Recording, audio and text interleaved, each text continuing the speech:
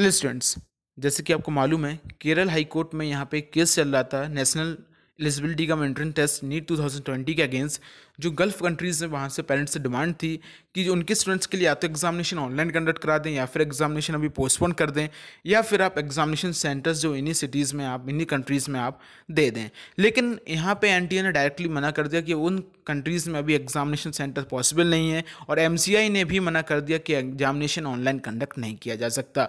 कल एन ने एक एफिडेविट जो है वो सुप्रीम कोर्ट में सबमिट किया जिसमें उन्होंने डायरेक्टली इस चीज़ को मैंसन किया हुआ है आप देख लीजिए पढ़ लीजिए कि जो exam to be conducted in a single shift at the same time on the same day, no overseas center are possible, national testing agency tells the supreme court.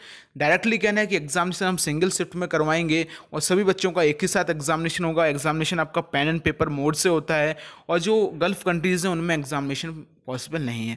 कहीं भी एन ने इस बात का ज़िक्र नहीं किया कि वो एग्जामिनेशन पोस्टपोन कर सकते हैं, क्योंकि अभी जो कोविड के केसेस जिस हिसाब से बढ़ रहे हैं। अगर आप देखें, अगर आप पूरा नीचे इसको पढ़ें तो जैसे कतर, डोहा, यहाँ के जो रेसिडेंट के लोग हैं, जो स्टूडेंट्स हैं, यहाँ से एग्जामिनेशन के फॉर्म फिल किए थे, उनको वहाँ पे सेंटर्स नहीं मिल रहे हैं। और अगर उनको यहाँ कंट्री में ट्रैवल करना है तो पहली बात तो इंटरनेशनल फ़्लाइट्स अभी बंद हैं। मान लीजिए अगर उन वो यहाँ पर आते भी हैं तो फिर उनको क्वारंटीन जो है, वो उसको फॉलो करना पड़ेगा फोर्टीन डे क्वारंटीन और अभी तक एग्जामिनेशन के एडमिट कार्ड भी रिलीज़ नहीं किए गए हैं। एक अनसर्टिनिटी बनी हुई है कि एग्जामिनेशन कंडक्टेड होंगे या नहीं होंगे, क्योंकि अगर वो अभी यहाँ पर ट्रैवल करके आ जाते हैं तो उसके बाद अगर एग्जामिनेशन कंडक्ट नहीं हुए और फर्दर पोस्टपोन हो गए तो ये होगा। तो काफ़ी टाइम से ये केस चल रहा था, लेकिन यहाँ पे एनटीए ने फिर से यहाँ पे एक एफिडेविट पास करके यहाँ पे मना कर दिया है।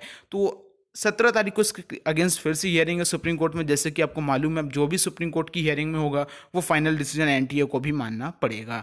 और आज यूजी यूजीसी के जो एग्जामिनेशन है, उनके अगेंस्ट भी हियरिंग है। उसमें जो अपडेट मिलेगी, वो अपडेट भी मैं आप लोगों के साथ यहाँ पर शेयर करता रहूँगा। तो आप ज़रूर चैनल को सब्सक्राइब कर लें।